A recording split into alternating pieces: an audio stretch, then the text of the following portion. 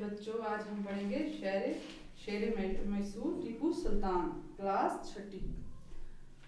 जनूबी हिंदुस्तान में मैसूर एक तारीखी शहर है। आज से तकरीबन ढाई सौ साल पहले इस इलाके में हैदर नाम अली, हैदर अली नाम का एक सिपाही था। वो अपनी हिम्मत और हौसले से तरक्की करता हुआ मैसूर की रियासत हुकूमत का हुक्मरान बन गया। अठारहवीं सदी के आखिरी हिस्से में अंग्रेज़ों ने मद्रास में अपना इकतदार कायम कर लिया। वो चाहते थे कि एक एक करके जनूबी रियासतों को जेर कर लें और अपनी हुक्मरानी कायम कर लें। अंग्रेज़ों ने बाज़ देसी रियासतों की मदद से हैदर अली की कौत को कुचलना चाहा, लेकिन उन्हें कामयाबी हासिल नहीं हुई। ये टीपू सुल्तान कहाँ का था? जनूबी हिंदुस्तान मैसूर के एक तारीखी शहर में। आज तो कितने? ढाई सौ साल पहले इस इलाके में कौन रहता था? हैदर अली नाम का एक सिपाही था। वो बहुत ही हौसले वाला था और वो मैसूर रियासत का क्या था? हुक्मरान। उसने अठारहवीं सदी के आखिर में क्या किया था? मद्रास में अपना इकतदार हो गया, ताकत ताकत कायम कर ली थी। वो चाहता था कि एक एक करके जनूबी रियासतों को जेर कर ले, ताकि उन्हें तंग करे। जेर करना हो गया, काबू करना, फतह करना। वो और अपनी हुक्मरानी कायम कर ले। अंग्रेज़ों ने बाद देसी रियासतों की मदद से हैदर अली की कोत को कुचलना चाहा। अंग्रेज़ों ने क्या किया? उसकी जो ताकत थी उसको कुचलना चाहा किसकी हैदर अली की। लेकिन वो कामयाबी उनको हासिल नहीं हुई।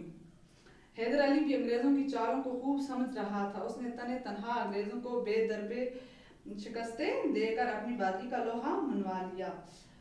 हैदर अली उन जो अंग्रेज़ चालें कर रहे थे, वो खूब अच्छी तरह समझ रहा था। लेकिन वो अंग्रेज़ों को क्या करता था? मुसलसल लगातार बेदरपे की हो गया। लगातार मुसलसल उनको शिकस्तें दे रहा था और अपनी जो बहादुरी का था, वो लोहा मनवाना हो गया कायल कर रहा था अपनी बहादुरी से।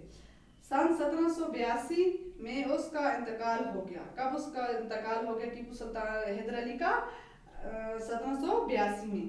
उस वक्त उसके बेटे फतेह अली टीपू की उम्र बीस साल थी। जो उसका बेटा था टीपू, उसकी उम्र कितनी थी उस वक्त?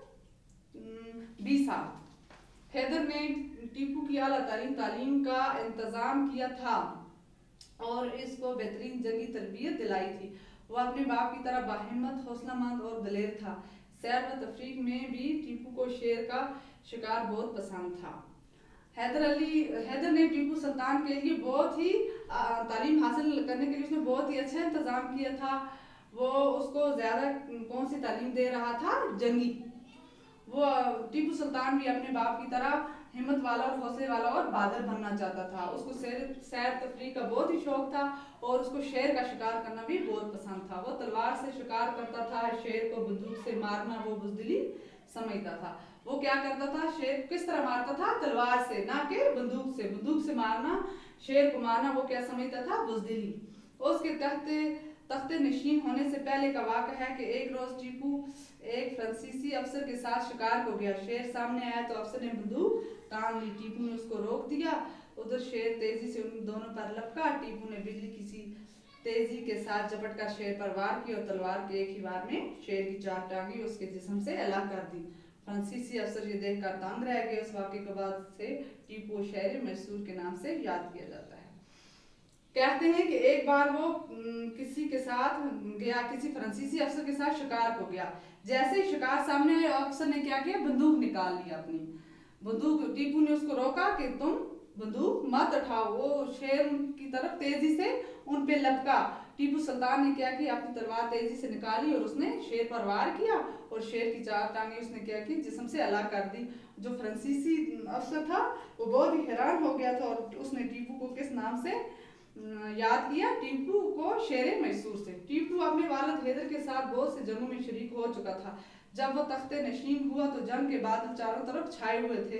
अंग्रेज़ बार बार रियासत पर हमले कर रहे थे क्योंकि वो उसके रियासत पर कब्जा करना चाहते थे। लेकर दो साल मुसलसल जंग के बाद सन सत्रह सौ चौरासी में टीपू सुल्तान ने अंग्रेज़ों को अपने शराय पर सुलह करने पर मजबूर किया। टीपू सुल्तान अपने वालद के साथ जंगों में काफ़ी जगह पे शरीक हो चुका था। जब वो उसको तख्ता तख्त मिला तो उस वक्त चारों तरफ़ क्या था? जंग के बादल छाए हुए थे। अंग्रेज़ बार बार क्या करते थे? हमला करते थे। उन्होंने रियासत पर कब्जा करना चाहा, लेकिन लगातार जंग होने के बाद सतारह में टीपू सुल्तान ने अंग्रेज़ों को अपनी शरत पर सुलह करने के लिए मजबूर कर दिया। आखिरकार उसने क्या किया? उसे उन्हें मजबूर किया सुलह करने पर। बस बस आज हम इतना ही पढ़ेंगे।